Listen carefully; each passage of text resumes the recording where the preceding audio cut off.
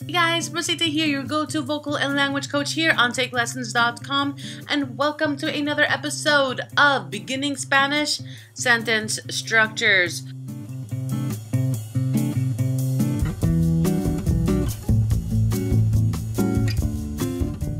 So our sentence structure for today is going to be a noun or noun phrase plus the verb to be. In this case will be the verb estar because we are talking about location, in its present indicative form plus the preposition plus another noun noun phrase. Por ejemplo, el coche está en el estacionamiento. The car is in the parking lot. In Spanish, the subject, whether it be a pronoun, a noun, or a noun phrase, or a pronoun, or a proper noun, um, usually is the first element of a sentence followed by the verb.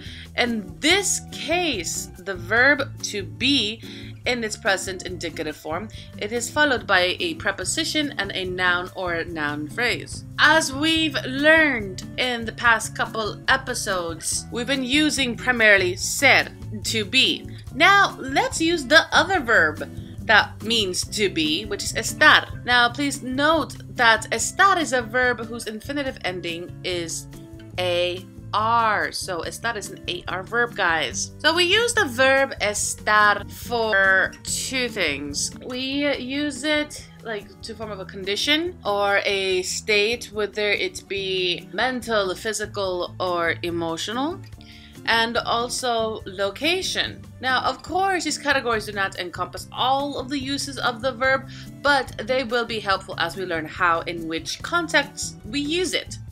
Now let's talk about the formation of it. So here is a chart. Bam! In order to form the present tense of the indicative mood of the verb estar in the singular, you need to remove the AR ending from the infinitive form, est ar, so we're to drop the AR, adios, and then add the personal endings of the present tense. So check out this chart. So please repeat after me. Yo estoy which means I am. Después tenemos tú estás. You are, informal.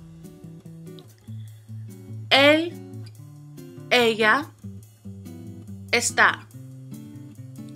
He, she, or it is. Usted está. You are, but formally. Then tenemos nosotros, nosotras, estamos. We are. Then vosotros, vosotras, estáis. Then we have ellos, ellas, están, which means they are. Then ustedes están. You all are, but formally. Now, notice that el, ella, and usted have the same conjugate endings. That's why if you're taking Spanish lessons or Spanish classes in school, in high school, you're going to see them grouped together is because they're going to have the same endings, including ellos, ellas, y ustedes.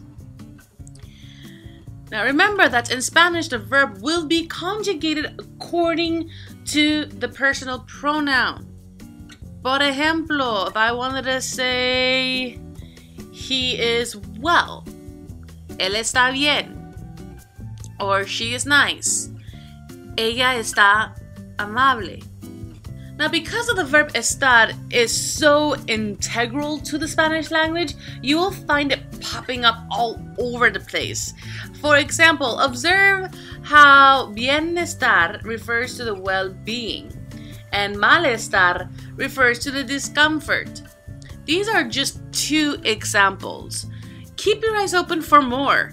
Also, as we've said, estar, estar is one of the two verbs in the Spanish language that means to be. The other is ser. Trust me when I say this. Please distinguish the two. It's very important because we're only allowed to use said or said in certain contexts.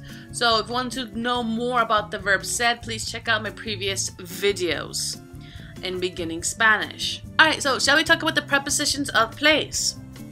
Now, what are prepositions? Prepositions of place point to the location or position of something or someone in relation to something else.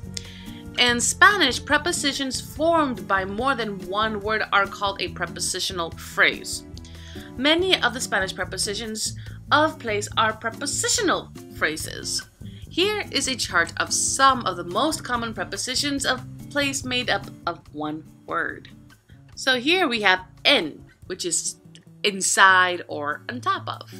Then tenemos sobre, which is over, on top of. Entre, entre dice in between.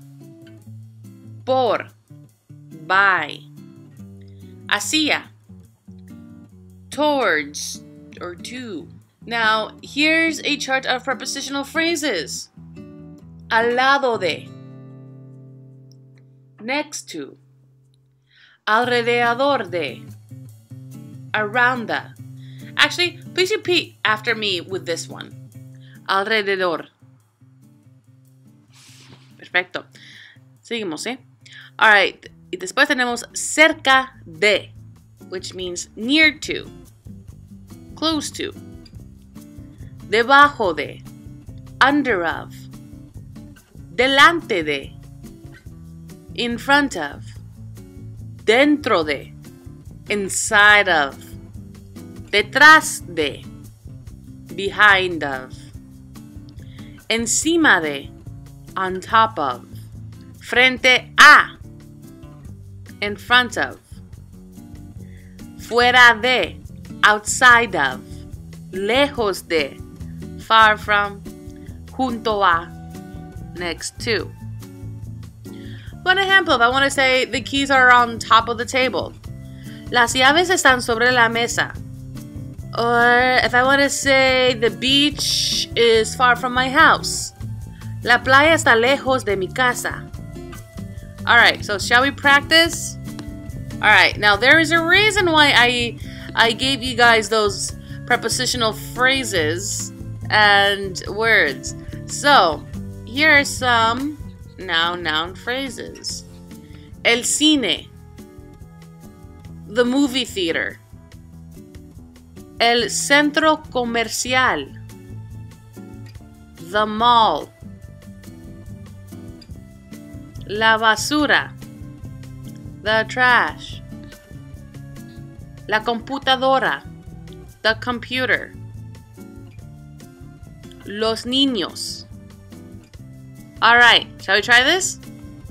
Empezamos. How would I say the children are next to the movie theater? Alright, good. So, just to review, remember that to give the location of something, we're just going to say a noun or a noun phrase plus the verb to be, use a preposition plus another noun or a noun phrase. Alright guys, this will conclude for today's lesson. If you have any questions, please do not hesitate to ask. Um, leave those questions in the comment sections below. If you guys are watching this on Take Lessons, go ahead, click that button that says ask a question. All um, all questions do go directly to me. For more information for taking lessons with me, whether it be online or here in studio, go ahead check out my Take Lessons profile to get information or go ahead call Take Lessons in the number in the description window. Alright guys, hopefully I'll get a chance to talk or maybe even see you soon. Nos vemos! Ciao!